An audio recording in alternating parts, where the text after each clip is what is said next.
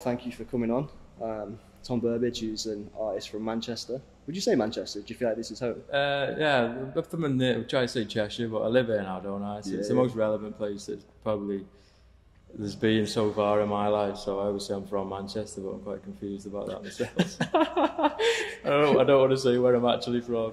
And also, if I like try and explain like your work as well, how would you describe it? How would you put it out there? My art's been evolving um, over since I was about 15. So I started doing portraits, very expressionistic and loose. I come from a, like a line of artists in my family that always drew realism. And uh, going through uni, they were always becoming looser and looser. I was quite interested in abstraction and removal of image and de- deconstructed images. So I did that all the way through my like early twenties, painting things, subjects, and then removing the reality in that over say 10, 10 pa- paintings. So the last painting would be a very abstract version of the photograph, and the, the first version would be more realistic. And I found that towards the end of the line, I'd be more interested in that outcome because there was a lot less going on and it leaves the mind to kind of find narrative. So we kind of just chased that for the last 10 years. Mm-hmm. So you, I just did away with complete subject and just just deal with forms, colour, texture to make someone feel a certain way and put them in a certain space and play with indicators and ultimately just instinctively make them now. They're not really, I don't have to think too much about uh, what it is that I'm doing. It just kind of happens now, and it's something that's just in me, and it comes out. That's how it feels. I try and just nurture it, let it come out, and try not to get in the way of it too much, it consciously, which sounds a bit, It's so mad to me bit as well. a bit, a bit odd, but it just the more you get involved in it, the worse it gets. You have to kind of like witness it as if it's just I'm someone else as well sometimes, and that's what generates the most authentic style. It's so interesting because I feel like obviously I've, you showed me your like portrait, more real realism work. Yeah. What what changed from doing that to thinking like actually you know what this isn't for me like I want to go into the abstract. I just had like a profound sense of I don't know when I came came to a point where I was confident in the science of painting and I could make colours and I could get the desired outcome and make a uh, a painting look how I wanted. I realised that I was just showing off. Mm-hmm. I felt like I was showing off. I'm not trying to discredit realistic painters or realism painters or hyperrealism because it's a crazy technique. It's a lot of labour. It's impressive. It's, it's talent. But it feels like me by giving someone a ticket to to the whole story. It just seems like quite a, a generic, easier thing to do and ask someone for that value and you know to get someone to see value in something that isn't anything and they have to try and ultimately add the context is is for me is a harder challenge. It might be easier to paint an abstract, but creating value in an image, which is built up of textures, to a group of people in a room, you'd argue that that was a bit more of a harder sell, Mhm. and that's what interests me because it, it's reliant on people being open-minded. So I, ultimately, I just felt like I was not adding anything to the market, and I also wanted to find an authenticity in me and my style, and I felt like I was just copying masters people that I'd studied, like Lucian Freud, Francis Bacon, uh, figurative painters like Jenny Saville, and uh, quite frankly, they just weren't ever going to be as good because I knew that I was just not doing something authentically, and the, it was the paint and the layers and the way it was composed that interested me more than what I was painting. Mhm. Uh, and it, yeah, yeah, it was a fight to not be generic. Maybe that's why I've ended up doing, you know, arms black and that. Maybe I just got an insecurity about being generic and me. Or may stay, stay from stem from just being a twin or something deep down where you just want to be an individual Yeah, yeah. and everything to be in that kind of core uh, feeling of trying to stand out. But I think it's interesting as well. Like with abstract, you're actually looking within, I guess, to create something that doesn't exist. So you're having to look into your self to see what you want to create, rather than looking at a subject and being like, right, I'm going to replicate that. Yeah. You're actually doing something that doesn't exist. I Yeah. think that's quite interesting. Like, where does your inspiration come from? That because when you put it together, it's not a subject; it's it is just coming from within. Yeah, so it's ultimately, I'm inspired massively. Like a lot of people that are creative, you're inspired by a, a lot of things. You're absorbing everything around you, and you're making reactions, and it excites you, and you want to dress a certain way because you want to convey yourself like that, and people, you want people to think a certain way about you. And you want that car, or you want your room to be like that. And it's ultimately a sensitivity, I think, about how you take in the world. And I think every creative, whether it be a photographer, stylist, designer, is looking at the world in that lens or through that lens. What I do is try and use my my science, my creating technique or my creative tool, which is painting, for whatever reason that is, and just put that out in a very rushed, feels quite, quite a very rushed format, which is it feels like it's everything. It's like everything. It's a download basically. It's everything that I've seen, touched, felt, remembered, listened to, sniffed. you know, everything tasted. I feel like it's just a, a very condensed format of information that is coming out of me in some sort of way that is not really understandable other than the fact that it, it's continuously in that style. And do you have a point where you're like, right, I've taken too long now. This painting's too much. Yeah, yeah. Well, this is this is it. At the start of your painting career, you're trying to make it of value, so you start putting a lot of paint on the canvas because that's value. That's making it luxurious and expensive. It's like using metallic paints. Mm-hmm. You got to go through all these insecurities as a painter to then realize that you should be painting as effective as you can which is not putting more paint on. I ruin paintings by putting more paint on, and you can do something in an instant that is way more impactful. If you walk in a room and it's just shown to you, your initial uh, emotion looking at that is wow. And then you can paint for 40 hours on a piece, and it could be so developed and so technical that it's just dull. Yeah. So you're trying to find out a balance of working for instinct and that initial impact only. And I think that can come quite quickly sometimes, but sometimes you can have to work on it. And, you know, you can be labouring away for six, seven times more than the, the painting before it. But mm-hmm. I'd say every 10 paintings that I do, I'm given one where it just kind of happens as a residual like bonus mm-hmm. to just labouring away at other stuff. Because I have to stay quite curious. I'm curious. And I mean that in a way that when I'm painting, I don't really know what it is either that's coming out of me, but that's why I'm addicted to it because it's this self awareness and you're trying to really calibrate and diagnose why this change is happening and why you're trying to paint certain forms and what it is that confuses me. You said it the other day to me, like, what, why do I like motorbikes and cars so much? What is it about them? That's basically what I'm doing all the time. Why am I painting like this? Yeah. What is it about the world that I'm trying to say, do, represent, or not represent? Because I'm not representing it. And it's like having this awareness and falling into yourself becomes quite attractive and addictive because everything else just disappears. It's escapism, isn't it?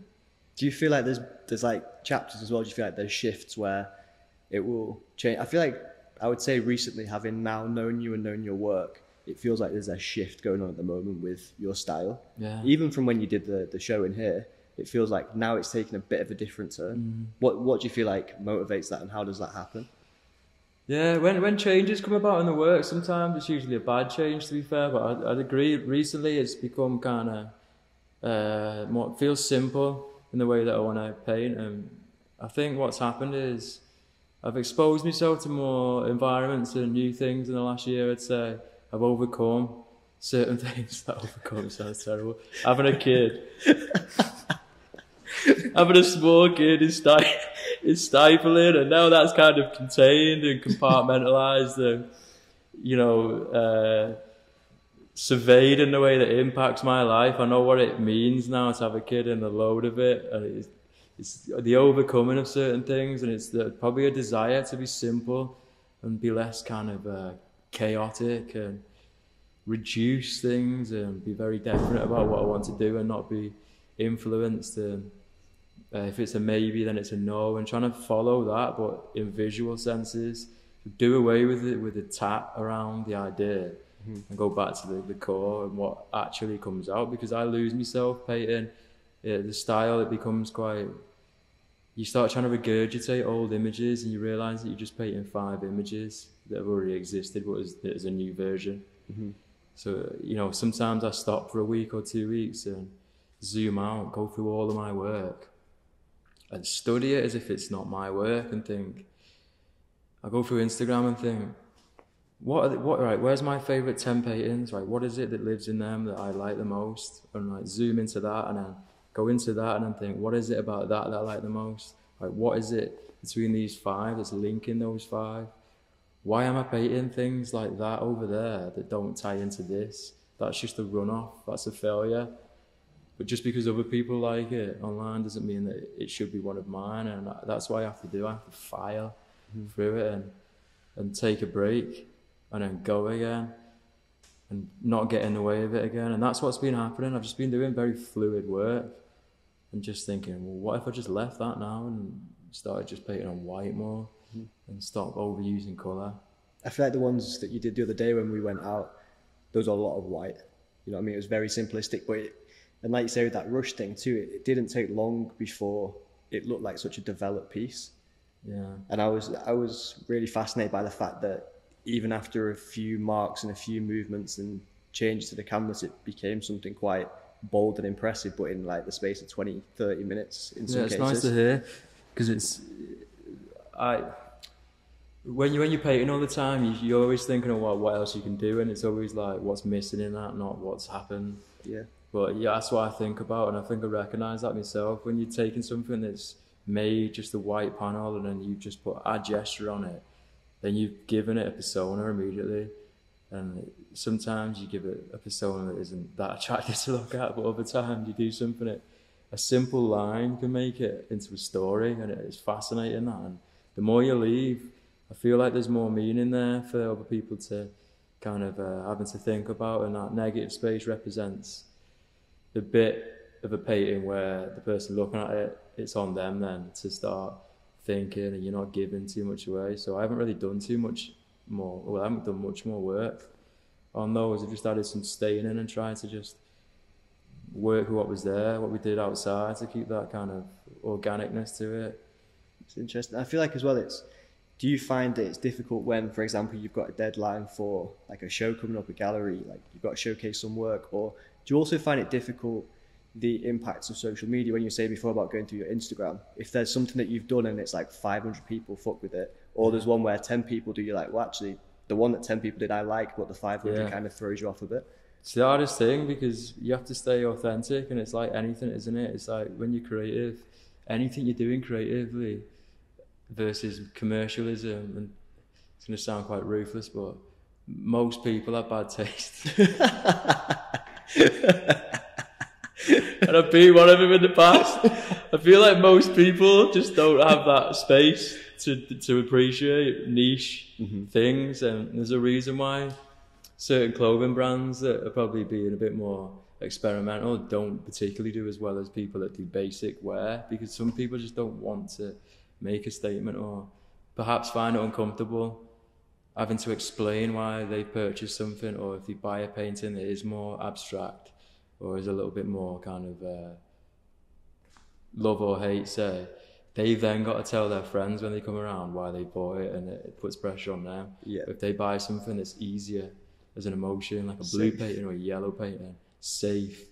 Oh that's happy. Oh that's calming. Blue calming happy it's an easy sell for them to then resell to their mates under questioning or whoever else is going to ask them why they bought that and the justification and I think it's that it, it falls along like that and the further you go into abstraction and away from the simple emotions and paintings that are more kind of commercial um, in the way that they look, the harder the sell. But I tend to like those ones more. But yeah, you're right. If, you were doing it all the time, you just wanted to focus on selling more, you'd have to listen to that data. And I try not to.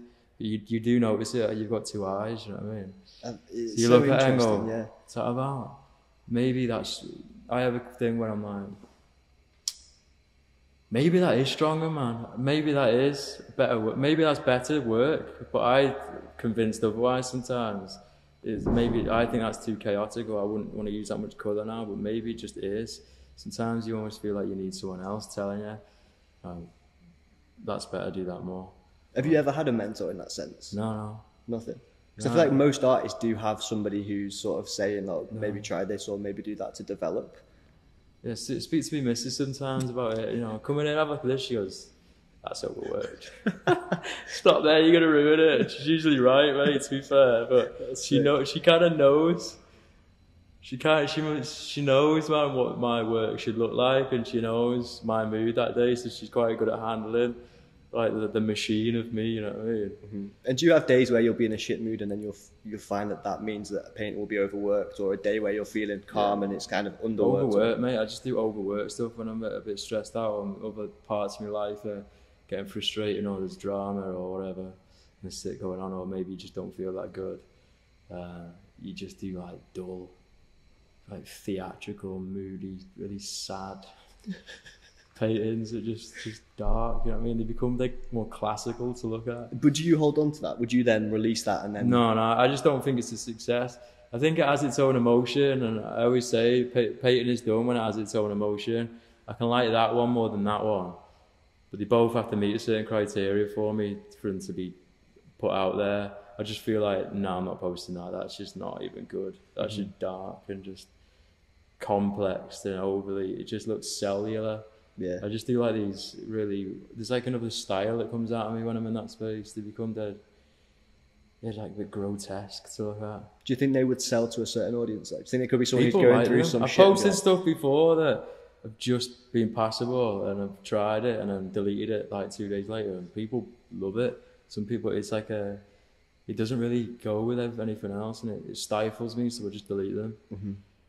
So that's one that I'm terrible for is doing something that stifles my own productivity. It has to be sitting. It has to kind of sit in the chain of work and move upwards and forwards in the right trajectory. Otherwise, if it goes like that, I have to rein it back because I don't like big jumps.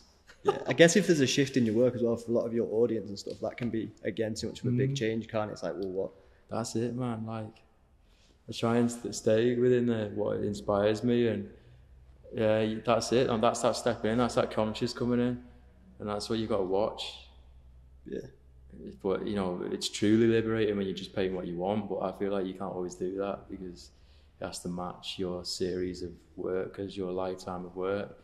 Some artists like Hans Hofmann's done it before, uh, and other painters where it's just sporadic and you can't even tell it's his work. But that, that I don't want that. I want to sit there with a style and a certain look.